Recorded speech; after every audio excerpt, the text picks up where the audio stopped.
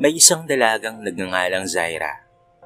Siya ay matulungin, masipag at maganda. Anak lamang siya ng mahirap na mag-asawa. Ngunit kahit ganoon, ay puno pa rin sila ng pagmamahalan at suporta sa isa't isa. Isang araw ay masayang naghahanda si Zaira para sa kanyang kauna-unahang trabaho. Kakagraduate niya lamang sa kolehiyo at ngayon ay hindi niya mapigilan ang saya at tuwa na nararamdaman niya. Anak, kailangan ba talagang sa Maynila ka magtatrabaho? Pwede namang dito ka na lang para sa ganon ay malapit ka sa amin. Medyo nalulungkot ang ama ng malamang sa Maynila magtatrabaho sa Zaira Napangiti na lamang ang dalaga at niyakap ang kanyang ama at pinagaan ng loob upang hindi ito masyadong mag-alala. Tay, kahit nasa malayo man po ako, hindi hindi ko po kayo pababayaan at walang masamang mangyayari sa akin kasi kasama ko ang Diyos sa bawat paglalakbay ko. Ngiting sabi ni Zaira, kahit naiyak na lamang ang kanyang ama at pati na rin ang kanyang ina at mas niyakap siya ng mahigpit. Pangako ko po sa inyo na ako po ang aahon sa atin mula sa kahirapan. Gagawin ko ang lahat ng makakaya ko para sa pamilyang ito. Dagdag pa ni Zaira. Sorry anak ha, kung ikaw ang bubuhay sa pamilya natin. Ako ang ama pero parang wala akong silbing ama. Naiiyak na sabi ng ama, kaya agad itong nilapitan ni Zaira. Tay, wag po kayong ganyan. Kagustuhan ko po ito at masaya akong makatulong sa inyo. Kaya wag mong isipin na wala kang kwentang ama. Kasi dahil sa'yo, ay nandito ako at handang tumulong at mahalin kayo. Wika ni Zaira at nagyaka pa ng buong pamilya. Dumating na ang araw na magtutungo na sa Maynila si Zaira at sobrang excited na siya. Napapikit na lamang si Zaira habang nasa aeroplano siya at nakatingin sa mga ulap. Dinarasal niya na sana ay maging maganda ang simula niya sa kanyang unang trabaho at ito ang makakatulong para maiahon sa kahirapan ng pamilya niya. Pagdating sa Maynila, sinamahan siya ng kanyang kaba excitement.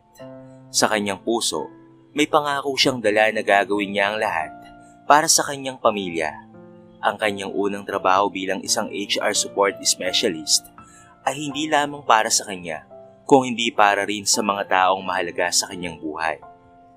Nang makarating na nga siya sa Maynila, ay agad siyang nagtungo sa apartment ng pinarserve ng dalaga. Doon muna siya mananatili habang nagtatrabaho siya. Bukas ay ang interview niya at hindi niya na makontrol ang kanyang kaba dahil balita niya pa ay sikat ang kumpanyang apply niya kaya hindi hindi niya talaga sasayangin ang oportunidad na makapasok dito. Alas 4 pa lamang ng umaga ay tapos ng maganda si Zaira. Dala ng excitement ay nahanda niya na ang lahat at handa na rin siyang pumunta sa company. Nang makapasok ay agad siyang namangha sa laki ng lugar at sosyal ng disenyo nito. Sa probinsya nila ay walang gaanong gusali, kaya naman parang ignorante si Zaira habang nililibot ng paningin ni Zaira ang buong lugar. Habang nakatingin siya sa buong paligid, ay bigla na lamang may empleyadong lumapit sa kanya. Good morning, Ma'am Jessica. Bumati ito sa kanya at tinawag siyang ma'am. Kaya naman nagulat si Zaira at saka siya nagtaka. Uh, um, mukhang nagkakamali po ata kayo. Magsasalita pa sana si Zaira nang tumunog ang cellphone niya. Nakita niya ang text message ng taong mag interview sa kanya at sinabing sumakay siya sa elevator at magtungo sa last floor na agad namang sinunod ito ni Zaira at pumasok na nga sa room na ibinigay nito. Nang mahanap ang silid na papasukan niya, ay huminga siya ng malalim at napapikit na lamang. Diyos ko, ikaw na po ang bahala sa akin. Bulong ng dalaga sa sarili. Nang makapasok siya, ay agad tumayo ang parang mag-asawang negosyante at halata ang gulat sa kanilang mga mukha. Kinabahan tuloy si Zaira at nahihiyang lumapit sa lamesa nito. Tama ka nga, mahal. Magkamukhang magkamukha sila ng anak natin si Jessica. Pagsasalita ng babaeng medyo may edad na. Sit down, Iha, at huwag kang mahiya. Ikaw ba si Zaira sa panda? Tanong ng lalaki na mukhang asawa ng babaeng nagsalita kanina. Opo, ako nga po. Ako po si Zaira sa panda. 23 years old po. I'm applying for HR Support Specialist. Pagpapakilala ni Zaira Nice meeting you, Zaira. At masaya kaming nandito ka. Ako nga pala si Rafael Rodriguez and this is my wife, Alexa Rodriguez. Kami ang may-ari ng kumpanyang ito. Pagpapakilala ni Mr. Rodriguez. Napalunok na lamang ang dalaga. Kaharap niya ngayon ang isa sa pinakamayamang negosyante sa bansa at medyo nahihiya na siyang humarap. We're so glad that you're here, not to become an employee, but to be the wife of Mr. Wilbert Alferez. Pagsasalita ni Mr. Rodriguez, kaya't lumaki ang mga mata ni Zaira at hindi ka agad nakapagsalita. I'm sorry kung nagulat ka namin, pero yun ang totoong dahilan, kaya't gusto namin nandito ka. Pagsasalita naman ni Miss Rodriguez. Teka po, hindi ko po maintindihan kung bakit biglang nagkakaganito. Ba- bakit po ako? Si dinami-raming pwede, bakit ako pa po ang napili nyo? Nalilitong tanong ni Zaira. Hindi agad sumagot ang mag-asawa at may ibinigay na litrato kay Zaira. Siya si Jessica Rodriguez. Siya ang anak namin. Pagsasalita ni Mr. Rodriguez. Habang seryosong pinatitigan ni Zaira ang mga litrato nito. Pati si Zaira ay nagulat nang makita ang mukha ng babaeng binabanggit ng mag-asawa. Magkasing mukha talaga silang dalawa. At aakalain mo talagang sila ay kambal. Medyo sosyal at yayamanin kung tingnan si Jessica habang si Zaira naman ay simpleng dalaga lamang at medyo morena. Ikakasal na kasi si Jessica kay Wilbert next two months. And the problem is, biglang lumayas ang anak namin and she's nowhere to be found. Hindi namin alam kung saan namin siya hahanapin. We searched the whole area para lamang mahanap siya, but we failed. Hindi talaga namin alam kung nasaan siya at hinahanap siya ni Wilbert. Pagsasalita ni Mr. Rodriguez habang seryoso namang nakikinig si Zaira. Kaya naman natutuwa talaga kami na nandito ka, lalo na at magkamukha pala talaga kayo ng anak namin. We want you to pretend as my daughter. Habang wala pa si Jessica, posibleng maikasal ka rin kay Wilbert. Pero gagawin namin ang lahat para lamang mahanap namin si Jessica before the wedding. So please, Miss Zaira, nagmamakaawa kami sa'yo. Willing kaming magbigay ng kahit gaano kalaking halaga. Tanggapin mo lamang ang alok namin sa'yo. Nagmamakaawang sabi ni Miss Rodriguez. Pero, hindi po ba panloloko na po ang gagawin natin? Nangangambang tanong ni Zaira. Kit umiwas ng tingin sa kanyang mag-asawa. Ito lang kasi ang tanging paraan. Kaya please, Miss Zaira, bibigyan ka namin ng 10 milyon. Magpanggap ka lang bilang si Jessica. Pagmamakaawa pa ni Mrs. Rodriguez, Kit lumaki ang mga mata ni Zaira nang marinig ang halaga ng pera. Sampung milyon po? Gulat na tanong ni Zaira na hindi makapaniwala. Mabilis na tumango ang mag-asawa. Mabilis ring hinawakan ng babae ang kamay ni Zaira at diretsyong nakatingin sa kanyang mga mata. Ikaw lang ang makakatulong sa amin. Pangako, kapag malaman man ito ng kung sino man, ay hindi madudumihan ang pangalan mo. Pagsasalita nito. Natahimik na lamang si Zaira at nag-isip-isip. Medyo nagugulan pa po ako. Hindi ko pa po alam kung ano po ang gagawin. Kaya pasensya na po. Pag-amin ni Zaira, kaya may kinuwang papel si Mr. Rodriguez at ibinigay ito sa dalaga. Here, it is an agreement paper. Basahin mo lang yan and I'm sure nariyan lahat ang gusto mong malaman. You can have it while pinag-iisipan mo pa ang magiging desisyon mo. Alam namin kailangan mo pa ng oras para makapag-isip-isip. Hindi naman sa pinipilit ka namin but I hope tanggapin mo ang alok namin, Miss Zaira. And I hope walang sino man ang makakaalam sa usapan natin ito. Sabi ni Mr. Rodriguez. Tinanggap naman ni Zaira ang papel at ngumiti. Maraming salamat po. Babalik po ako kapag nakapag-desisyon na po ako.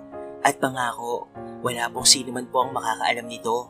Kahit tatanggapin ko man ito o hindi. May naong sabi ni Zaira, kahit matamis nang umiti sa kanya ang mag-asawa. Maraming salamat, Zaira. Ngiting sabi ng mga ito. Umuwi ang dalaga na hindi mawala-wala sa kanyang isipan ang pag-uusap ng mag-asawang Rodriguez. Gusto niyang matulog pero hindi niya magawa dahil sa kanyang pag-iisip. Malaki-laki rin ang perang inaalok nila at kailangan-kailangan ito ng pamilya ko. Pagsasalita ni Zaira sa kanyang sarili. Well, in fact, gusto ko rin namang matulungan ang mag-asawa. Halatang gustong gusto na talaga nilang matulungan sa problema na ito. Natigilan sandali si Zaira at ito ay napapikit. Panginoon, alam ko pong masama itong gagawin ko pero sana ay gabayan mo pa rin po ako. Patawad po. Kinabukasan ay bumalik si Zaira sa kumpanya. Laking tuwa ng mag-asawa nang tanggapin ni Zaira ang alok at sinimulan ng pirmahan ng dalaga ang papeles. Thank you so much, Zaira. Maraming maraming salamat, Zaira. Hulog ka ng langit sa amin. Pangako namin sa'yo na walang masamang mangyayari sa'yo sa usapan na ito. Masayang sabi ng mag-asawa. Binigyan ng kondo si Zaira kung saan doon siya pwedeng manirahan at wala na siyang babayaran na kahit na ano. May mga damit na rin doon na sa tingin niya ay pormahan ni Jessica. Ibinigay na rin ng mag-asawa ang 10 milyong pinangako ng mga ito sa kanya. Kaya naman nakapagbigay na ng malaking halaga si Zaira sa pamilya niya mula sa probinsya. Anak, papaano kang nagkaroon ng ganito kalaking pera? Sobrang laki naman yata nito para sa unang araw mo sa trabaho. Takang tanong ng ina, kit tatawa na lamang si Zaira. Malaki rin po kasi at sobrang yaman rin po ng kumpanyang napasukan ko. Kit parang tinatapon na lamang nila ang pera dahil sa sobrang kayamanan nila. Natatawang sabi ni Zaira. Kit tatawa na lamang rin ang kanyang ina. Basta't anak, palagi mong tatandaan na wag na wag kang gagawa ng masama ah. Para lang tayo ay magkapera. Okay lang naman sa amin kahit maliit lang ang sahod mo. Basta't galing sa tamang gawain. Naging seryosong sabi ng ina kaya't saglit na natahimik ang dalaga. Alam niyang masama itong ginagawa niyang pagtanggap sa alok ng mag-asawa, pero wala na siyang magagawa kung hindi ang ipagpatuloy ito. Gusto niya ring makatulong sa mag-asawa at sa kanyang pamilya. Kinaumagahan ay biglang tumawag si Mrs. Rodriguez kay Zaira at nagyaya itong magkape sila. Agad naligo si Zaira nang mabuksan ng cabinet ay namangha na lamang siya sa mga damit na nasa loob nito halatang mamahali ng bawat damit na nandito. Pinili niya ang white floral sleeveless at ito ang napili niyang suotin. Nang matignan niya ang kanyang sarili sa salamin, ay napanganga na lamang ang dalaga. Magkamukhang magkamukha na talaga sila ni Cheska. Kung hindi iisipin, akalahin talagang kambal silang dalawa. Sandali pang nag-ayos ang dalaga at napagpasya ng lumabas. Nasa baba na si Mrs. Rodriguez at nasa loob ng kotse. Agad na sumakay si Zaira at naiyang umiti dito. Magandang araw po, Mrs. Rodriguez. Bati ng dalaga. Hindi agad nakapagtugon si Mrs. Rodriguez nang matignan niya ang dalaga. Kamukhang kamukha mo ang anak ko. Bulong nito at naiiyak na. Hindi nakapagsalita si Zaira at hindi na alam kung ano ang gagawin. I'm sorry kung umiiyak ako. Namimiss ko lang talaga ang baby girl ko. Tara na, Ngumiti na lamang si Zaira at tumango. Nang makarating na sila sa coffee shop, ay agad silang umorder ng iced coffee at cake. Kinakabahan ka ba sa mangyayari sa pinapagawa namin sa'yo? Nag-aalalang tanong ni Mrs. Rodriguez, kahit naiyang tumango si Zaira. Opo, Mrs. Rodriguez. Natatakot po ako na baka isang araw ay malaman ng iba ang sikreto na ito. Na kayo kong sabi ni Zaira, kaya tinawakan ni Mrs. Rodriguez ang kamay niya at saka ang umiti. Huwag kang mag-alala. Kakampi mo kami rito. At huwag mo na akong tawagin Mrs. Rodriguez. Mami na lang. Since nagsisimula na tayo dito. I'll call you Jessica rin para masanay tayo sa isa't isa. Nakangiti sabi ni Mrs. Rodriguez. Kahit napangiti na lamang si Zaira. Salamat po, Mami. Gagawin ko po ang lahat ng makakaya ko po. Tugon ng dalaga. Basta act like yourself. No need mo nang magpanggap at baguhin ang ugali mo. Sa looks mo pa lang, ay magkamukhang magkamukha na talaga kayo ng anak ko. He looks so pretty, just like my daughter. By the way, pwede ko po bang malaman kung bakit umalis si Jessica? Tanong ng dalaga. Bumuntong hininga na lamang si Mrs. Rodriguez at malungkot na tumingin sa kanyang mga mata. She has a boyfriend, pero hindi namin gusto ang boyfriend niya. He's a poor at walang magandang maidudulot sa anak namin. I'm not matapobre but iniisip lang namin ang future ni Jessica. Mr. Wilbert is really a good man at suits perfectly to our daughter. Kaya naman gagawin namin ang lahat para magkatuluyan sila kahit wala dito ang presensya ng anak ko. Maliwanag ni Mrs. Rodriguez. Hindi po ba parang unfair po ito para kay Jessica? Knowing na may mahal na pala siyang iba? I'm sorry po kung nangingalam po ako. It's okay, Iha. Naiintindihan ko rin ang point mo. But actually, gusto rin ni Jessica si Wilbert noon. Kaya nga nagulat kami nung bigla siyang nagkaroon ng ibang boyfriend at ngayon ay lumayas pa.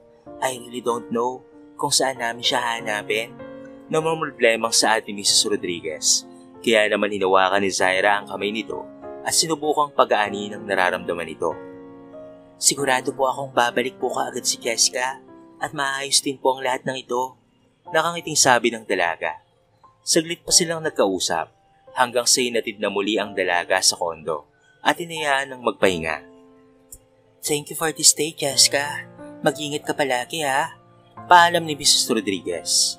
Natigilan sandali si Zaira nang tawagan siya nitong Jessica at saka siya ang umiti. Maraming salamat po, Mami. Mag-iingat rin po kayo ni Daddy palagi. Tugon naman ni Zaira at ito'y pumasok na sa kondo. Pagkatapos ng mahabang araw, nagilamo si Zaira at naglinis ng katawan bago matulog. Nang matapos, pinuksan niya ang cabinet upang maghanap ng damit pambahay. Ngunit wala siyang mapili dahil mukhang mamahali ng lahat ng damit. Hanggang sa makita niya ang isang sitro na black dress. Nagkibit balikat na lamang siya at ito ang napili niyang suotin. Naging maayos naman ang tulog ni Zaira. Kinaumagahan, nagising siya nang biglang may nagdoorbell.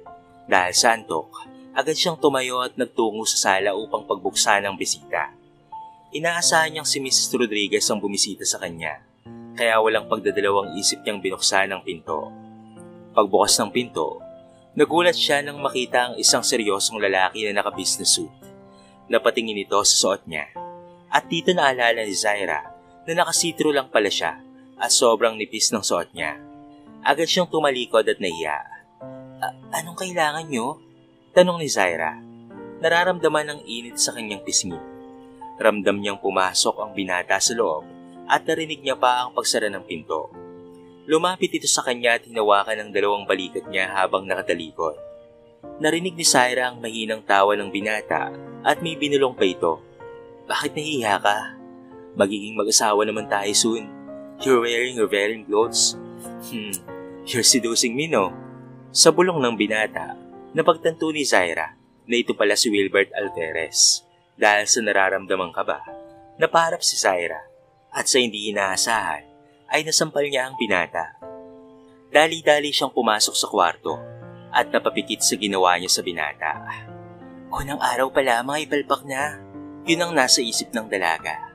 Sorry po, hindi ko po sinasadya. Naiyang sigaw ni Zaira mula sa loob ng kwarto habang nagbibihis siya ng hindi revealing na damit. Wala siyang narinig na kahit anumang tugon ng binata, kaya't kinakabahan si Zaira na baka nagalit ito sa kanya dahil sa biglaan niyang pagsampal dito. Bahagyang napailing si Wilbert at napahawak sa pula nitong pisngi. Alam mo bang papasok pa ako sa trabaho, Jessica? What to do now? Papasok akong namamaga ang pisngi? Wika ni Wilbert na parang kinokontrol ang galit nito. I'm really sorry. Takpan na lang natin yan ng foundation. Wait, kukunin ko muna ang makeup kit ko. Upo ka muna sa sofa. Dali-daling nagtungo sa kwarto si Zaira at kinuha ang gamit niya na pangpaganda. Nang makabalik sa sala, ay nakita niya si Wilbert na tahimik lamang na nakaupo sa sofa na parang isang batang pinalo ng ina. Gusto sanang tumawa ni Zaira, ngunit naisip niyang hindi ito ang tamang oras para pagtawanan nito. Lumapit siya rito at sinimulan ng hawakan ng gwapong mukha ng binata. Dahan-dahan itong nilagyan ng foundation ng dalaga upang magpantay ito sa kulay ng balat. Saglit lamang na natigilan si Zaira nang mapagtantong sobrang lapit na pala ng mukha nila sa isa't isa. Nakahawak siya sa mukha ng binata habang ang mga mata nito ay tutok na tutok sa kanya. You feel different. Parang may nagbago sa'yo. Mas lalo mo pinapatibok ang puso ko. Bulong ni Wilbert habang diretso lamang ang mga mata nito sa dalaga. Napalunok na lamang si Zaira. Baka mapansin ng binata na hindi siya ang tunay na Jessica at masira lahat ng plano nila ng mag-asawang Rodriguez. I miss you so much. Akala ko iiwan mo na ako eh. Akala ko hindi ka aaten sa nalalapit na kasal natin. I'm glad that you're back to me now, Jessica. Bulong ni Wilbert. Napalunok na lamang si Zaira nang hawakan ni Wilbert ang bewang niya at marahan itong hinaplos gamit ang hinlalaki nitong daliri.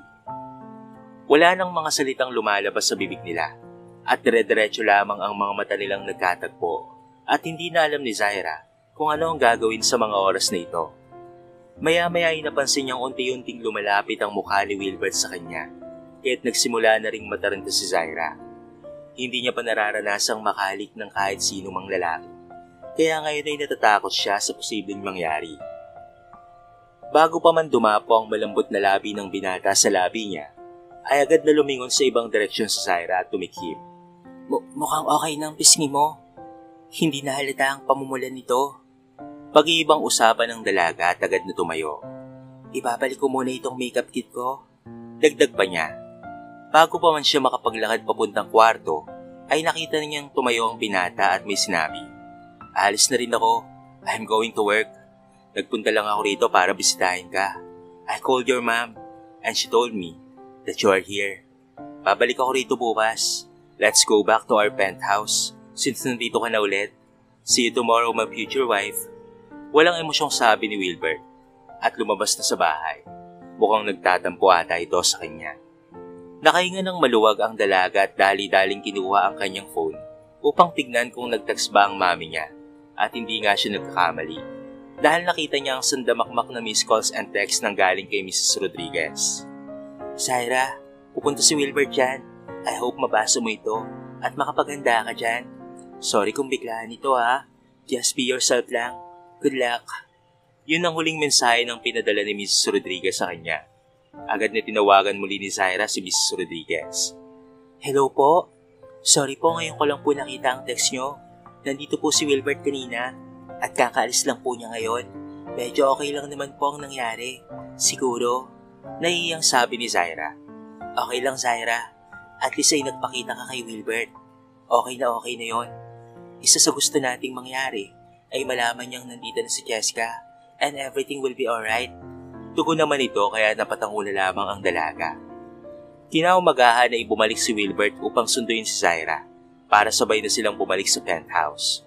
Kinakabahan siya sa posibleng mangyari, ngunit mas iniisip niya ang magandang may dudulot nito kung sasabay siya sa takbo ng mga nangyari at walang gagawing ikasisira ng plano nila. Nang makarating na sila sa penthouse, sinimula ni Zaira na mag-ayos ng kanyang mga gamit. Magkaiba ang kwarto nilang dalawa at mukhang pinag-usapan na nila ito ni Jessica noon dahil hindi muna sila magkatabing matulog hanggang sa hindi pa sila kasal. Okay ka lang ba? Tanong ni Wilbert habang pinagmamasdan siya. Bakit sobrang tahimik mo ata? Ngumiti lamang si Zaira at sinabing okay lang siya. Nangunot naman ang noon ni Wilbert, kaya't kinakabahan si Zaira. Maya-maya, muli na namang lumapit si Wilbert sa kanya at diretsong tumingin sa kanyang mga mata. You know, your eyes don't lie, right? Diretsong sabi ni Wilbert kahit napalunok na lamang si Zaira. Walang salitang lumalabas sa bibig nila at nagkatitigan lamang sila sa mga oras na ito. Mukhang akma na naman siyang halikan ni Wilbert. Pumilis ang pagtibok ng puso ni Zaira at nanginginig na siya sa sobrang kaba. Iniisip na lamang ni Zaira na magjowa si na Jessica at Wilbert at normal lang para sa kanila ang magalikan dahil ikakasal na rin naman na sila. Pumikit siya ng mabuti at sinampay ang braso sa balikat ng binata dahan-dahang lumapit upang halikan si Wilbert. Nangakma na sanang halik si Zaira, naramdaman niya ang bahagyang pagtigil ng binata at may sinabi na dahilan ng pagtigil rin ni Zaira. You've changed a lot, sabi ni Wilbert. Hindi makapaniwala ang tingin sa kanya.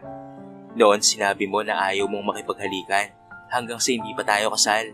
Tapos ngayon, willing ka nang humalik? Tila nagbago ka, simula nang bumalik ka. Naghihina lang sabi ni Wilbert habang ang mga mata nito ay puno ng pagtataka. Natigilan si Zaira at napalunok na lamang. Hindi niya alam kung ano ang dapat gawin. Sa mga oras na iyon, biglang tumunog ang doorbell kahit natigilan silang dalawa. Nilapitan ni Wilbert ang pinto at sumilip sa screen upang makita kung sino ito. Nang makita niya kung sino, pinagbuksan niya ito at pumasok ang isang palangiti na binata. Hey pinsan, kamusta? Bati ng binata. Hello Jessica, bumalik ka na pala. Ngumiti si Zaira at pumati rin. Hello. Hindi niya alam kung sino ito, kaya panay lamang sa pagngiti ang dalaga. Sa pag-uusap ng dalawang magpinsan, ay nalaman niyang Triton pala ang pangalan ng binata. Habang may pinag-uusapan ng magpinsan, nagtungo si Zaira sa kusina upang magluto ng hapunan. Nagluto siya ng adobo. Hindi sigurado kung magugustuhan nito ng dalawang binata pero bahala na. Nang maluto na ang adobo, nagulat na lamang ang dalawang binata sa kanilang nakita. Wow! Adobo! Ang sarap naman yan, Cheska. Marunong ka palang magluto niyan? Excited na sabi ni Triton. Nagtanong si Wilbert, kailan ka pa natutong magluto? Bumuntong hininga na lamang si Zaira at pabirong nagsabi, Secret talent ko kaya yan. Natawa na lamang ang pinsa ni Wilbert na si Triton. Joker talaga itong si Cheska. Makikain na nga. Mukhang masarap to ah. Sabi ni Triton habang nagsasandok ng kanin. Seryoso lamang nakatingin si Wilbert sa pagkain. Hindi ka ba kakain, Will? Tanong ni Zaira. Bedyan ako, Cheska. Sagot ni Wilbert habang may bahid ng inis. Nakalimutan mo na ba? Napatangutango na lamang si Zaira at napakamot sa kanyang ulo. Ay, oo nga pala. Gagawa na lang ako ng salad para sa'yo. You know what? Forget it. Inisasabi ni Wilbert at pumasok na sa kwarto at naiwan ang dalaga sa kusina kasama si Triton na masaya ng kumakain. Napatingin si Zaira sa pinsa ni Wilbert at napakabit balikat na lamang si Triton at masayang kumain. Sinabayan na lamang ni Zaira si Triton sa pagkain habang puno ng pag-aalala na baka napapansin na ni Wilbert ang kaibahan nila ni Cheska. Ang sarap nito, Cheska, sabi ni Triton habang kumakain. Dapat ay madalas kang magluto nito dahil araw-arawin ko talaga ang pagbisita rito. Natawa na lamang silang dalawa habang masayang kumakain. Ngumiti naman si Zaira, ngunit hindi maalis ang kanyang kaba. Salamat, Triton. Sana nga ay nagustuhan din ito ni Wilbert pero hindi eh. Malungkot na sabi ni Zaira. Huwag mong alalahanin ang pinsan ko. Madami lang siguro yung iniisip. Wika ni Triton. Kaya't ngumiti na lamang si Zaira at ito ay tumango. Matapos kumain ay nagpaalam na nga si Triton upang umalis na rin. Salamat sa masarap na hapunan, Cheska At salamat sa pabring home mo. Ingat ka palagi ha. Salamat din sa'yo, Triton. Sagot ni Zaira. Ingat ka.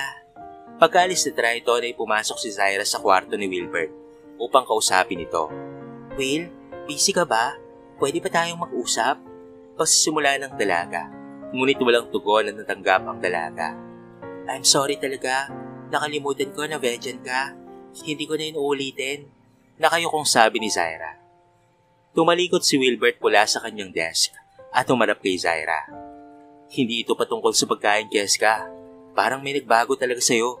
Hindi ka na yung dating Jessica na kilala ko. Napayuko si Zaira. Hindi alam kung ano ang isasagot. Sorry, Will. Yun lamang ang nailabas na salita sa bibig ni Zaira. Aaminin niyang medyo nakukonsensya siya sa panluloko sa binata. Ngunit nangako siya sa mag-asawang Rodriguez na pagbubutihan niya ang pagpapanggap bilang si Jessica habang wala pa ang tunay na Jessica. Ilang segundong natahimik si Wilbert at bumuntong hininga. Sige, magpahinga ka na. Marami pa tayong asikasuhin bukas. Tumango si Zaira at lumabas ng kwarto. Habang nasa kanyang silid, hindi niya maiwasang mag-alala sa kung ano ang maaaring mangyari kung tuluyan ng mag-inala si Wilbert sa kanya.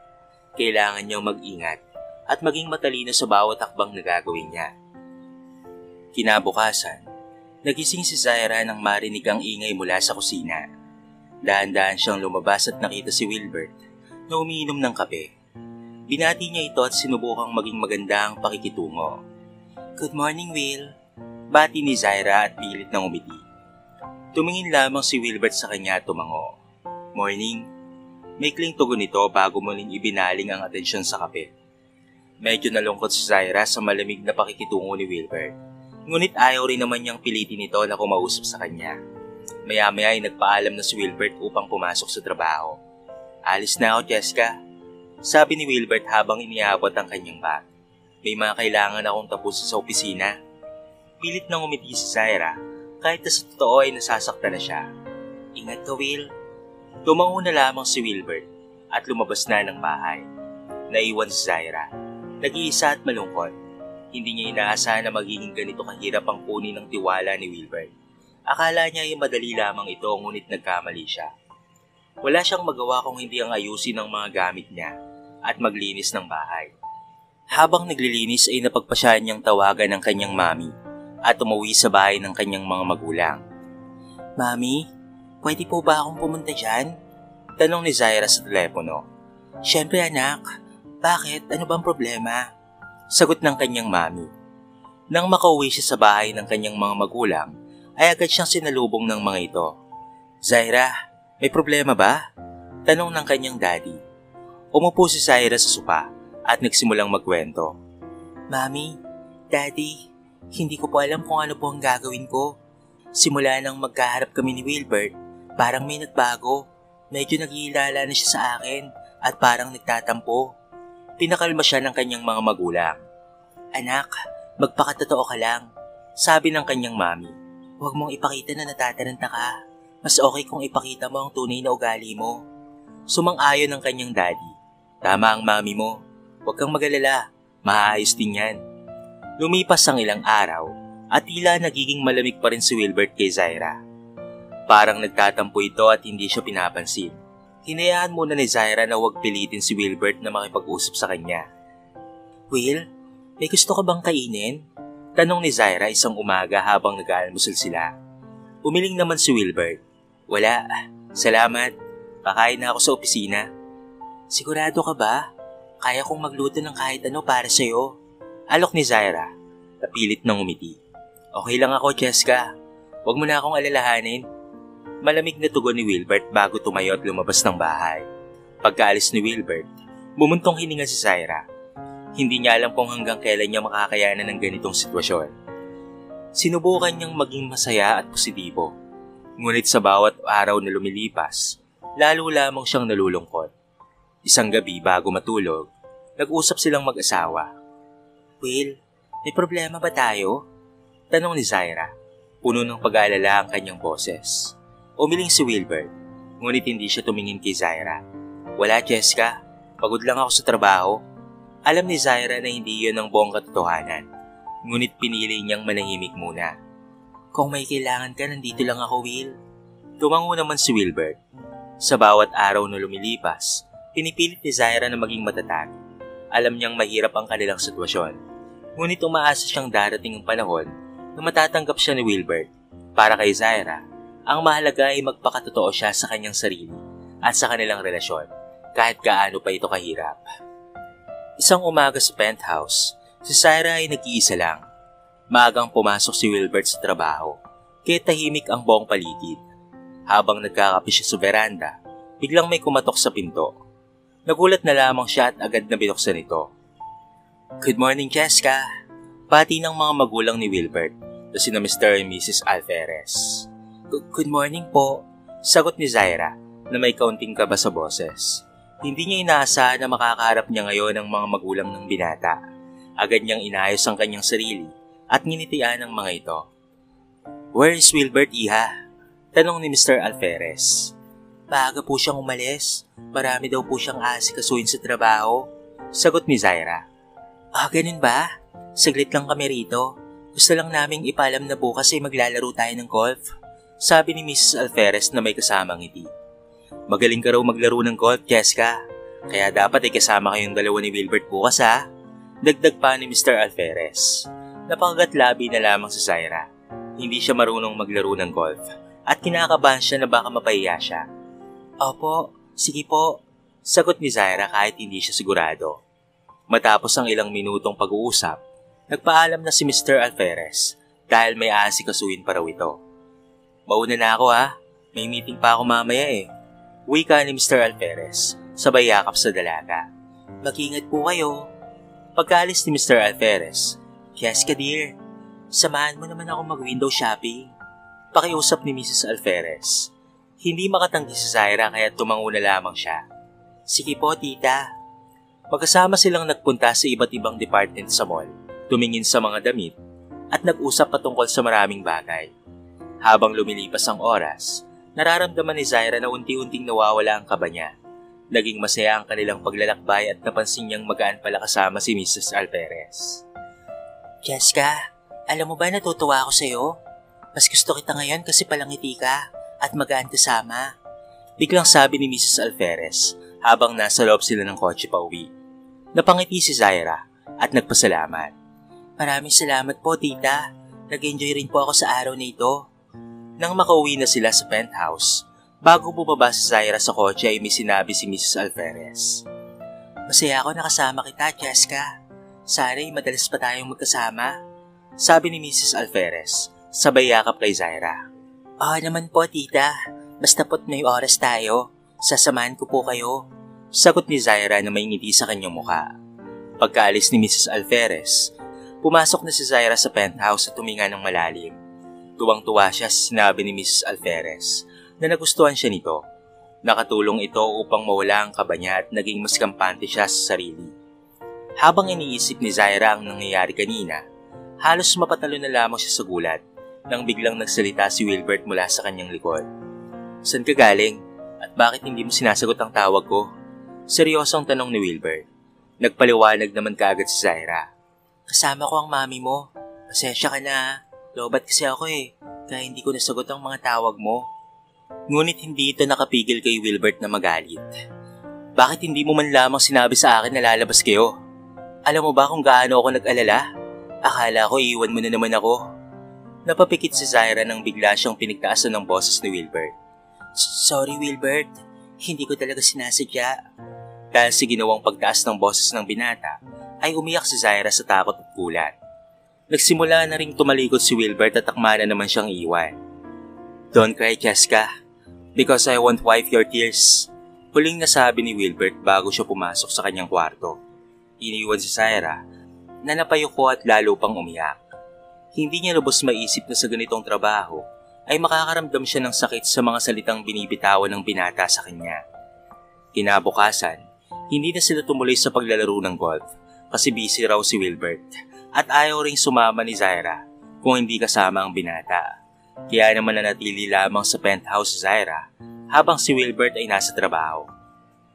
Lumipas ang ilang araw at walang nagbago sa pakikitungo ni Wilbert sa kanya hanggang sa umabot ang araw ng kanilang kasal. Ikinasal sila sa West at tanging mga importanteng tao lamang ang imbitado. Pansin ni Zaira na parang walang kagana-gana si Wilbert. Nang oras ng paghalikan nila, mabilis at parang halik na hangin lamang ang ginawa ni Wilbert. Nalungkot si Zaira, kahit alam niyang nagpapanggap lamang siya bilang Jessica. Matapos ang kasal ay binati sila ng ilang mga bisita at nag-usap pa. Saan niyo pala planong mag-honeymoon, Mr. and Mrs. Alferez? Tanong ng mga ito. Pag-iisipan pa namin but for now, we want to stay at our penthouse and make memories, sabi ni Wilbert at peking umiti. Napansin ito ni Zaira at napayuko na lamang. Pagkatapos ng lahat, umuwi si na Zaira at Wilbert sa penthouse na parang hindi man lamang mag-asawa. Sobrang tahimik ng penthouse at puno ng awkward at atmosphere. Maya-maya ay tinanong siya ni Wilbert, Gusto mo bang sa isang kama na lamang tayo matulog? Kahit papaano, ay napangiti si Zaira at tumango kahit nahihiya. O- okay lang ba sa'yo? Tatanungin ko ba ito kung hindi okay sa akin? Inis na tugon ni Wilbert, kaya't natahimik na lamang ang dalaga. Nang makapasok sa kwarto, agad na humiga si Wilbert sa kama at nakatalikod kay Syra. Humiga na lamang rin si Syra at malungkot na napatingin sa asawang nakatalikod sa kanya. Wala siyang magagawa at ayaw niyang pilitin si Wilbert sa anumang bagay. Hinayaan na lamang niya ito at sinubukang masanay sa pakikitungo ni Wilbert sa kanya habang wala pa ang tunay na Jessica. Isang gabi habang nakahiga sila, naglakas loob si Syra na magsalita. Wilbert, alam ko na hindi na ito madali para sa ating dalawa. Pero sana ibigyan mo ako ng pagkakataon na mapalapis sa'yo at maging mabuting asawa. Walang sagot si Wilbert at nanatili siyang nakatalikod. Tahimik na umiiyak si Zaira. Pakaramdam niya ay nag-iisa siya sa penthouse kahit kasama ang kanyang asawa. Dumating ang araw na hindi na masikmura ni Zaira ang malamig na pakikitungo ni Wilbert sa kanya. Wilbert, hanggang kailan mo ako ituturing na iba? Gagawin ko ang lahat para maging mabuting asawa sa'yo. Sabi ni Zaira, pilit na pinipigilan ang kanyang luha. Hindi ito patungkol sa'yo, Jessica. May mga bagay na mahirap tanggapin. Sagot ni Wilbert nang hindi tumitingin sa kanya. Ang saya mo siguro habang pinapanood mo ako na parang asong sunod ng sunod sa'yo at nalalay mo. Wala naman akong ginagawang ikakagalit mo. Inagawa ko naman lahat para maipakita ko sa iyo na mabuti akong tao at bilang asawa mo. Umiiyak na si Zaira. Natahimik na lamang si Wilbert at walang salitang binitawan. Alis na ako. Late na ako sa work. Huling sabi ni Wilbert at lumabas na sa penthouse. Late? Eh siya nga ang boss eh. Ayaw lang talaga ako makasama. Inis na sabi ni Zaira at inayaan na lamang ang asawa. Isang umaga ay nagising si Zaira nang mapansing wala si Wilbert sa kama. Maya-maya ay may narinig siyang ingay mula sa kusina. Kahit inaantok ay bumangon siya upang tingnan kung ano ito.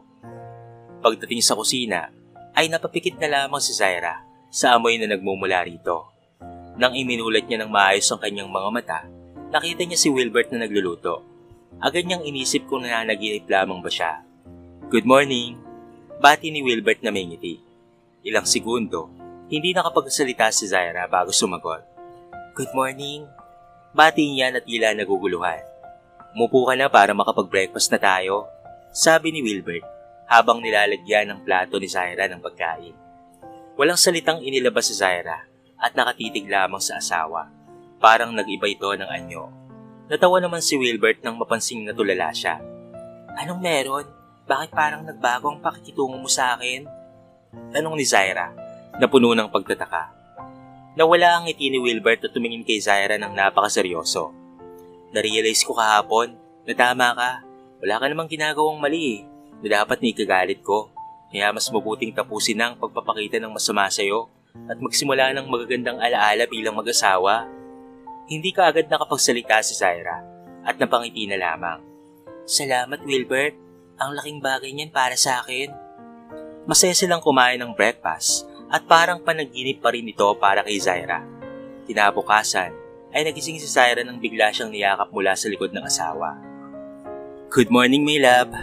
Bumulong si Wilbert sa kanyang tenga. Napangiti si Zaira nang maramdaman ng mainit na hininga ng asawa. Good morning din. Sagot niya. Maglalaro tayo ng golf ngayon ha, kasama ang parents natin at ilang business partners. Dagdag ni Wilbert. Agad na napabangon si Zaira sa kaba at pati na rin sa pagkagulat. Pero hindi ako marunong maglaro ng golf. Inamin niya rito. Natawa naman si Wilbert.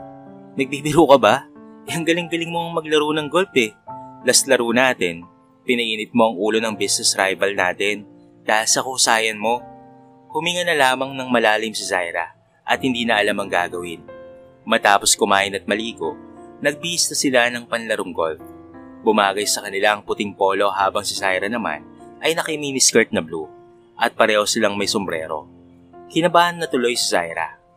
Matapos ang ilang minutong biyahe, nakarating na sila sa golf area. Pansin ni Zaira na sosyal ang lugar at may ilan ang naglalaro ng golf.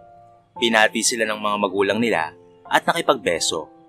Habang bineso ni Zaira si Mrs. Gonzales, pinulungan niya ito. Mami, hindi po ako marunong maglaro ng golf. Bumulang pabalik si Mrs. Gonzales. Tarahin mo lang ang bola at yun lang ang gagawin mo. Napakagatlabi na lamang si Zaira at ngumiti kahit kinakabahan. Nang magsimula ang laro, hindi talaga matira ni Zaira ang bola kaya naman tinuruan siya ni Wilbert. I'm sorry Wilbert, seryoso ako. Hindi talaga ako magaling maglaro ng golf. Sabi ni Zaira habang hinawakan ng kamay ng asawa. Ganito lang Jessica, relax ka lang at sundan mo ang ginagawa ko, sabi ni Wilbert habang inaayos ang posisyon ni Zaira. Pasensya ka na Wilbert, hindi ko talaga alam kung papaano, sabi ni Zaira at humingi ng tawad. Naiintindihan naman ni Wilbert, baka dahil matagal ka nang hindi naglalaro kaya nakalimutan mo na. Okay lang yan, basta't mag-enjoy tayo ha. Ngumiti si Zaira sa asawa dahil sa kabaitan nito. Salamat Wilbert. Naging masaya at isang magandang memorya ang araw na ito para kay Zaira. Habang pauwi sila, ay hindi pa rin nawala ang ngiti nila sa labi. Alam mo, Wilbert, sobrang saya ko ngayon. Salamat sa pag-unawa mo ha, sabi ni Zaira. Ngumiti si Wilbert at hinawakan ng kamay ni Zaira. Ako rin, Jessica. Gusto ko talagang maging masaya tayo bilang mag-asawa. Sa gabing iyon, natulog si Zaira na puno ng pag-asa at saya sa kanyang puso. Alam niyang simula na ito ng mas magandang relasyon nila ni Wilbert. Lumipas ang ilang araw at naging maganda talaga ang pakikisama ni Wilbert kay Zaira. Isang araw, Niyaya siya ni Wilbert na magtungo sa Bangkok, Thailand. Jessica, gusto kong bumawi sa'yo. Hindi naging maganda ang araw natin matapos ang kasal natin at hindi man lamang tayo nakapag-honeymoon. Kaya naman sa araw na ito, sisimulan natin ang magandang yugto ng ating honeymoon. Sabi ni Wilbert na may ngiti sa labi. Nagulat na lamang si Syra sa biglaang sorpresa ng asawa. Talaga, Wilbert? Ang saya naman. Hindi ko inaasahan ito. Sabi niya na puno ng tuwa. Pagdating nila sa Thailand, nagtungo pa sila sa isang mamahalin at parang private resort. Namangha si Zaira at hindi napigilan ng magsalita. Ang ganda naman dito, Wilbert. Para akong nasa paraiso. Ngumiti si Wilbert at nagsabi, Ako ang may-ari ng resort nito. Hindi ko pa ito pinapa-open sa publiko hanggat hindi pa tayo nakakapunta dito ng magkasama. Gusto ko ang espesyal na babae ang unang makakapunta dito na kasama ko. Natahimik na lamang si Zaira at ito ay napangiti. Sobra-sobra na ang kabaitang pinapakita ni Wilbert sa kanya at medyo nakakaramdam na ng konsensya si Zaira. Lalo na at niloloko niya lamang si Wilbert sa pamamaraan ng pagpapanggap na bilang si Jessica. Inayos pa nila ang kanilang mga gamit at matapos makapag-ayos, nagtungo sila sa isang lamesa na malapit sa tabing dagat. Pinalibutan ito ng magandang petals na nagpuno ng romantikong ambience. Inalalayan pa ni Wilbert sa Zaira na makaupo. Thank you Wilbert ha. Sabi ni Zaira habang umiti sa asawa. Puno ng saya at pagmamahal ang kanilang mga mata. Maya-maya dumating ang waiter at nilagay sa mesa ang mukhang pinaka-best dish nila.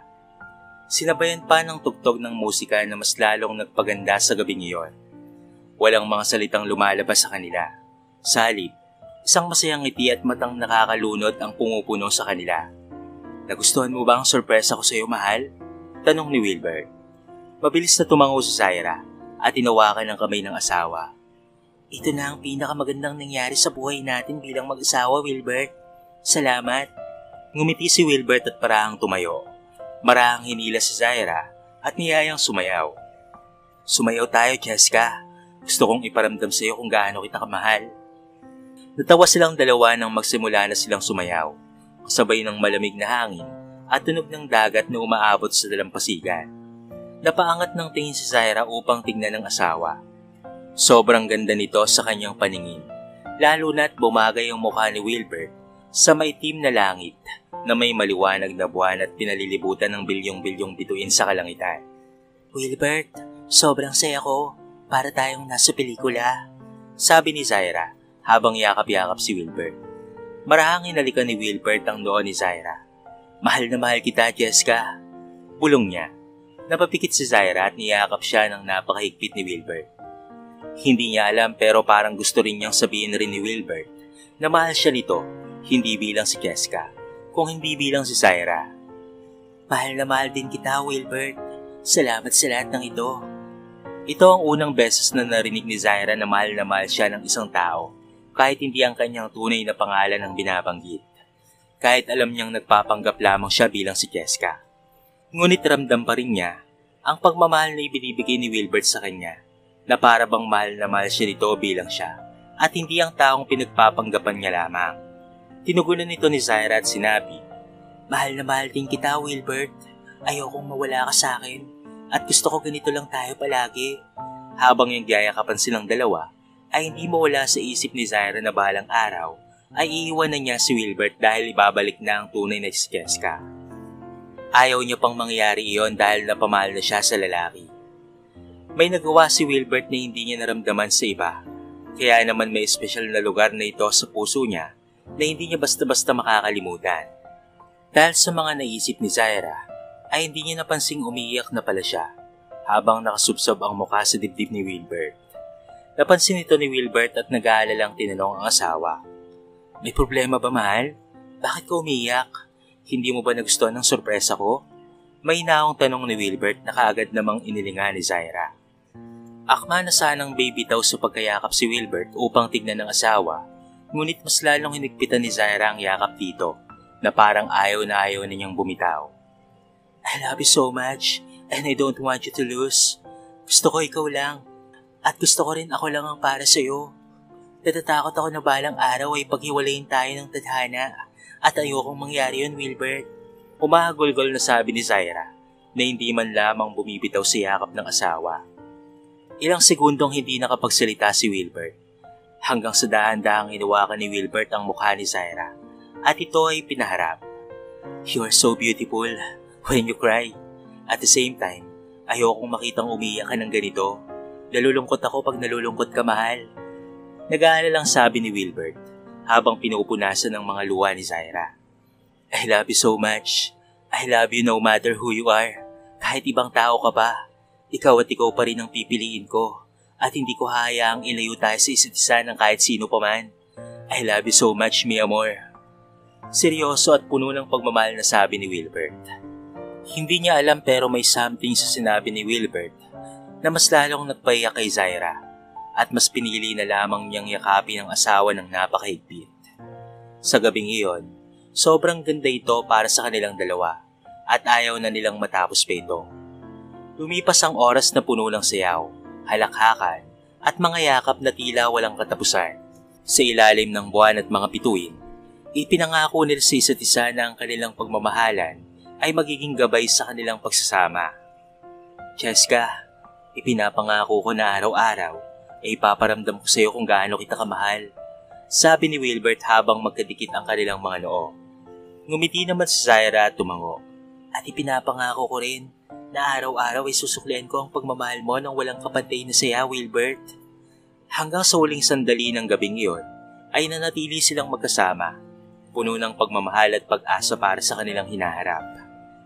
Alauna na ng madaling araw at magkatabing nakahiga ang mag-asawa sa kama.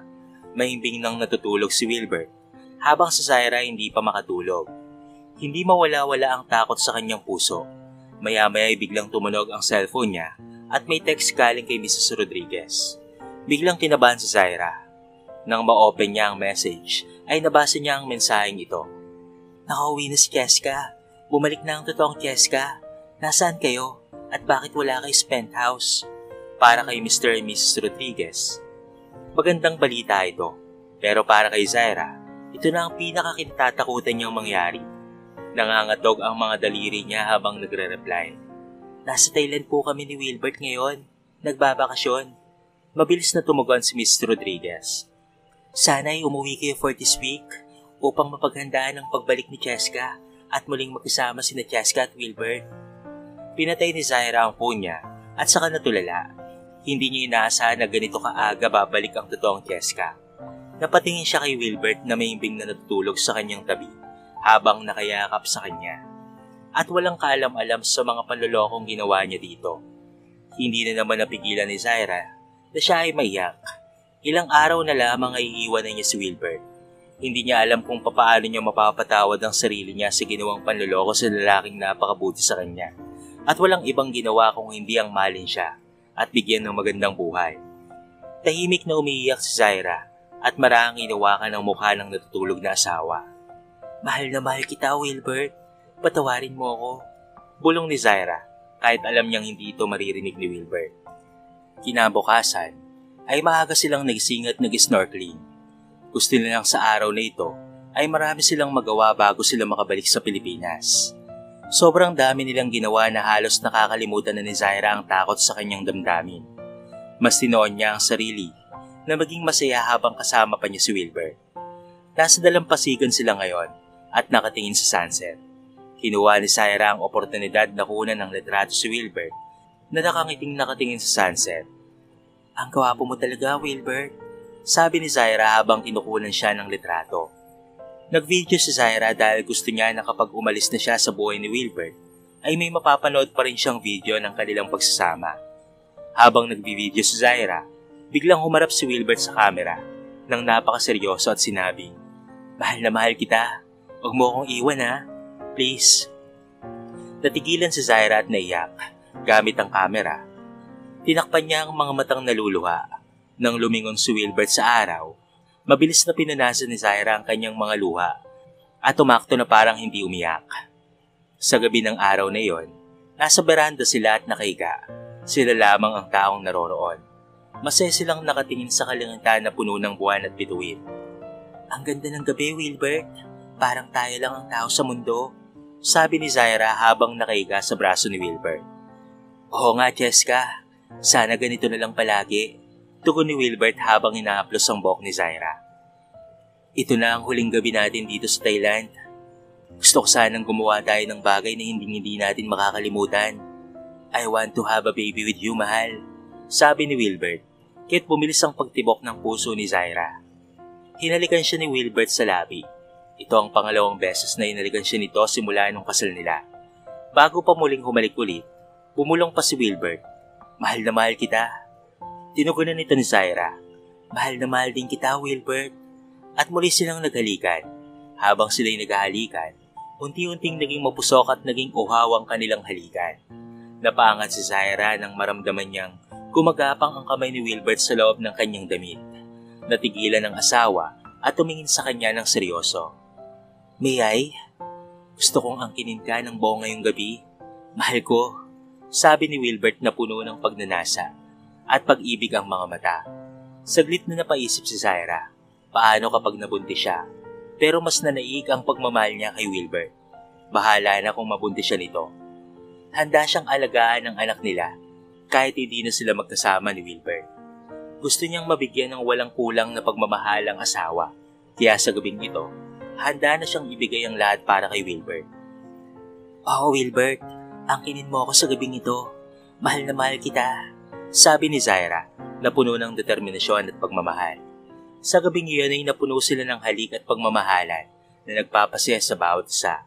Para kay Zaira, ito ang huling gabi na kasama niya si Wilbert bilang asawa at nais niyang maging espesyal at puno ng pag-ibig ang bawat sandali. Nang makauwi na sila sa Pilipinas, nagsimula ng matakot si Zaira. Maagang nagpaalam si Wilbert sa kanya para pumasok sa trabaho.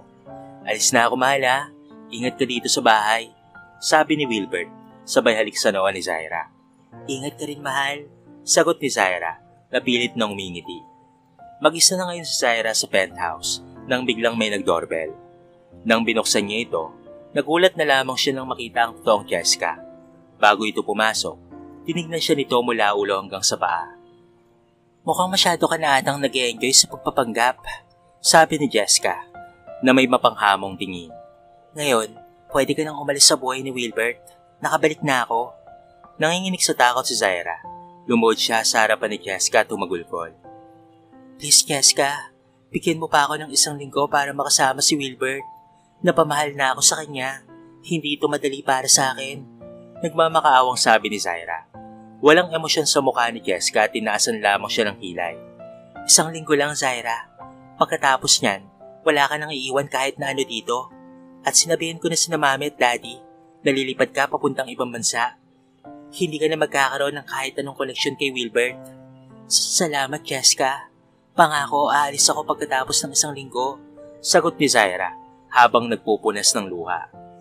Matapos ang kanilang mariing pag-uusap, naiwan si Zaira na mag-isa sa penthouse. Mas pinili na lamang niyang magluto ng dinner para may makain sila sa pag-uwi ni Wilbert. Nang makauwi si Wilbert, ay agad niya itong niyakap at pinati. Welcome home, mahal. Nagluto ako ng paborito mong pagkain. Sabi ni Zaira na may pilit ng ngiti. Salamat Jessica, ang sweet mo talaga. Tugon ni Wilbert habang yumayakap. Sabay silang kumain ng dinner at masayang nag-usap. Sinubukan ni Zaira na gumawa pa ng magagandang alaala kasama ang asawa bago siya umalis sa piling nito. Isang umaga, nagising si Zaira nang halikan siya ni Wilbert sa pisngi at nag-good morning. Good morning, birthday girl. Happy birthday. Bati ni Wilbert. Ngumiti si Zaira. Salamat Wilbert. Hindi ko akalaing naalala mo. Of course. Today, hindi ako papasok sa trabaho. Gusto kitang makasama buong araw. Sabi ni Wilbert na puno ng kasiyahan. Gusto mo bang kumain tayo sa restaurant? Tanong ni Wilbert. Hindi na. Mas gusto ko dito na lamang tayo sa bahay. Tayo lang dalawa. Sagot ni Zaira na may pilit ng ngiti. Pinilit ni Zaira na maging masaya sa araw na ito Masaya silang gumawa ng cake at nagkakatuwaan pa. Sabay pa silang nagluto ng mga pagkain. At walang katapusang nakaw na halik ang ginagawa ni Wilbert sa kanya. Nang gabi na, pinili nilang mag-celebrate sa terrace at kumain. Matapos kumain, magkatabi pa silang humiga dito at dinarama ang malamig na hangin. Happiest birthday sa iyo, mahal ko. Wish ko ay sana magkasama pa rin tayo hanggang sa pagtanda, sabi ni Wilbert habang inaalika ng noon ni Zaira. Hindi nagsalita si Zaira dahil parang iiyak na naman siya kapag nagsasalita na siya. Hinawakan ni Wilbert ang tiyan ni Zaira at hinimasimas ito. I'm sure, nandito na rin ang baby natin. Excited na akong alagaan ka at makita ang baby natin. Iting sabi ni Wilbert. Napalunok na lamang si Zaira at nararamdaman niya na naman ang pag-iyak. Wilbert, mahal na mahal kita. Patawarin mo sana ako. Sabi ni Zaira na para bang namamaalam na. Bakit ka humingi ng tawad, mahal? Nalilitong tanong ni Wilbert. Naging maganda ang buhay ko simula nang makasama ka. Hindi ko pinagsisisiyan na pinasok ko ang buhay na ito nang ikaw ay kasama. Ikaw na ang pinakamagandang nangyari sa buhay ko, Wilbert. Thank you so much for loving me. Napansin ni Wilbert ang kanyang tono. Bakit parang namamaalam ka, Jessica? May problema ba? Tanong ni Wilbert na puno ng pag-alala. Ngumiti lamang si Zaira at sinabing, Mahal na mahal kita, Wilbert. Kahit ano man ang mangyari. Maya-maya ay niyaya na ni Zaira si Wilbert na pumasok sa kwarto upang makapagpahinga at matulog. Nagkayakapan pa sila hanggang sa makatulog na si Wilbert. Nang bumangon si Zaira, pumasok na si Jessica at sinabihan siya. Huwag na huwag ka nang magpapakita pa kahit kailan dahil tapos na ang trabaho mo. Bago umalis ay binili na ni Zaira si Jessica. Sana mahalin mo si Wilbert. Nangigit sa pagmamahal ko sa kanya siya ang pinakamabait at mapagmahal na tao na nakilala ko. Matapos nun, umalis na nga si Zaira at sinunod ang utos ng mag-asawang Rodriguez. Nagtungo siya sa Amerika. Habang nakasakay sa eroplano, nakatingin si Zaira sa umiilaw na syudad at nagpaalam kay Wilbert. Paalam Wilbert, paalam mahal ko. Bulong ni Zaira habang pumapatak ang kanyang mga luha. Tatlong taon na ang nakakalipas at nasa Amerika pa rin si Zaira Dalawang taong gulang na rin ang alak nila ni Wilbert na pinangalanan niyang Zaber Alperez. May business na rin si Syra sa Amerika na palaging binibisita ng mga dayuhan dahil sa masasarap niyang tinda. Pinaalam niya na rin sa mga magulang niya sa Pilipinas ang kalagayan niya sa Amerika at buwan-buwan siyang nagpapadala ng pera rito. Wala na ring paramdamang mag-asawang Mr. and Mrs. Rodriguez sa kanya na para bang tinapon na lamang siya dito sa ibang bansa dahil wala na siyang silbi para sa kanila. Kaya naman nagtiis na lamang si Zaira. At ginawa ang lahat upang mapalaki ang anak na siya lamang mag-isa. Mama, is Papa also good at cooking? Tanong ni Zaber habang tinutulungan ng ina sa pagluluto. Yes, anak. Papa Wilbert is really good at cooking. He's the best man I know. Nakangiting sagot ni Zaira.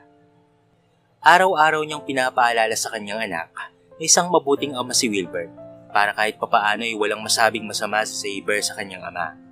Pinaliwanag rin ng maayos sa Saber kung bakit hindi nila kasama ang ama nito at naiintindihan naman ito ng anak niya. Araw-araw ring namimiss ni Zaira si Wilbert, ngunit alam niya sa kanyang sarili na imposible nang magkita o magkalapit pa ang landas nilang dalawa. Isang gabi, nagpapatulog si Zaira kay Zaber nang biglang may nag-doorbell. Sa ground floor ng bahay nila ay sariling restaurant ni Zaira kaya naman bumababa siya upang makita kung sino ito. Nang makababa, ay nakita niya sa glass door ang isang matangkad na lalaki na nakatalikod at naka-business suit. Good evening, sir. I'm sorry but we're closed. Sabi ni Zaira dito. Maya-maya ay dahan-dahang lumingon sa kanyang lalaki at nakita niya ang lalaking hindi niya inaasahang makita. Hi, kamusta ka na? Panimula nito. Hindi nakapag-react si Zaira at hindi alam ang salitang ilalabas. I miss you so much, my love. I searched the whole world para lamang mahanap ka. For three years, hinanap kita at wala akong pakialam kung maubos ang pera ko. Basta't mahanap ka lang. And now, here you are, standing in front of me. Looking as beautiful as always. Naluluwang sabi ni Wilbert. Nagsimula na ring umiyak si Zaira. Hindi man lamang makagalaw kahit gustong gusto niya na itong yakapin. I'm so sorry kung nagsinungaling ako sa'yo. Sorry kung hindi ko agad sinabi sa iyo ang totoo na ako si Zaira sa Panda at hindi si Keska. I'm sorry talaga. Hindi na natapos si Zaira ang kanyang salita nang mabilis na siyang nilapitan ni Wilbert at tinalikan sa labi. Naging mapusok ang halikan nila na parang miss na miss talaga nila ang isa't isa. You don't have to say sorry. Bago pa tayo kasal, alam ko na na ikaw si Zaira sa Panda. Honestly, saktan ako sa ginawa niyong panloloko sa akin. And plano ko sana noon na mahulog ka sa akin at iwan ka. But it turns out, ako ang nahulog sa'yo, Zaira. Hulog na hulog ako sa'yo to the point na hindi ko sinabi sa'yo na alam ko na ang lahat noong una pa lamang kasi natakot akong iwan mo ko. Natakot ako na kapag nalaman ko ang plano nyo ng mag-asawang Rodriguez ay umiwas ka na sa akin at lumayo. That night nung birthday mo, pinagsasiyan kong natulog ako kasi mapipigilan pa sana kita. I was so mad at everybody at that day kasi nilayo ka nila sa akin. I'm sorry mahal kung umabot pa ng tatlong taon bago kita mahanap pa. Naluluwang pag-amin ni Wilbert. Marahang hinawakan ni Zaira ang mukha ni Wilbert at umiyak ng umiti. I'm so glad that you're here to find me. Mahal na mahal kita, Wilbert. Tugon ni Zaira. Magsasalita pa sana si Wilbert nang biglang nagsalita si Saber na nasa likod nila at parang inaantok pa. Mama, who are you talking to? Tanong ni Saber. Kaya natigilan si Wilbert. Ba, may anak ka na? Nawala ang ngiti ni Wilbert at napalitan nito ng lungkot. Ngumiti si Zaira at pinuntahan ng anak at binuhat. Inilapit ni Zaira sa Saber kay Wilbert na ngayon ay tila nawala ng pag-asa. Saber, say hello to your father. Ngiting sabi ni Zaira, kaya't parehong nagulat si Saber at Wilbert. Natawa si Zaira dahil magkamukha talaga silang dalawa, lalo na nung nagulat. Mahal? Seryoso? Nagkaanak tayo? Hindi makapaniwalang tanong ni Wilbert na tinungan naman ni Zaira. Puntis na ako noong pinapunta ako dito sa Amerika ng mag-asawang Rodriguez. At first, hindi ako naniniwala pero ang nagpa-check up ako, na-confirm kong buntis talaga ako at ikaw lang ang lalaking nakagalaw sa akin. Paliwanag ni Zaira. Can I carry him? Tanong ni Wilbert. Kaya binigay ni Zaira sa saber kay Wilbert. Habang pinagmamasdan ni Wilbert ang bata, ay naiyak na lamang siya at niyakap ang anak. I'm sorry kung matagal ko kayong nahanap ng mami mo. I am a terrible father. Umiiyak na sabi ni Wilbert, kahit napayakap na lamang rin sa Zaira at pinunasan ng luha nito. It's not your fault and you are not a terrible father. Saver knows how amazing father you are. Right, Saver? Tumango naman sa Saver at ngumiti. Papa Wilbert is the best, and Mama and me love Papa Wilbert very much. Masayang sabi ni Saber, kahit umiyak na napangiti na lamang si Wilbert at mabilis na inalikan si Zaira. You have no idea how happy I am right now. Thank you for this blessing, my love. Sobrang ganda para sa kanila ang gabing ito, kung saan lahat ng problema nila ay nasolusyonan na. Matapos bisitahin ng kanyang pamilya sa Pilipinas, Nagtungo rin si Zaira kasama si Wilbert at Saber sa tahanan ng mag-asawang Rodriguez. Si Cheska ay naroon din. Humingi ng tawad ito sa kanya. Zaira, patawarin mo ako sa ginawa namin sa noon ha. Hindi ko alam kung paano ko haharapin ang ginawa namin. Wika ni Cheska, bakas ang pagsisisi sa muka. Pinatawad na kita, Cheska. Sagot ni Zaira. Kahit papaano ay may naitulong rin naman kayo sa akin. Nagpapasalamat si Mr. and Mrs. Rodriguez sa kabutihan ni Zaira.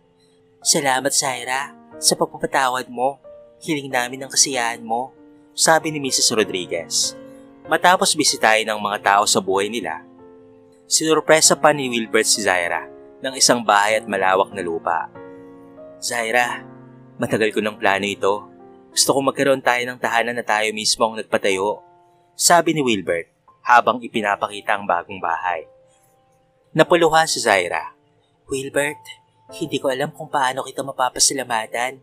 Napakabait mo talaga. Isang araw habang sila'y naglalakad sa kanilang bagong bahay, biglang lumod si Wilbert at may hawak na singsi. Zaira, will you marry me again?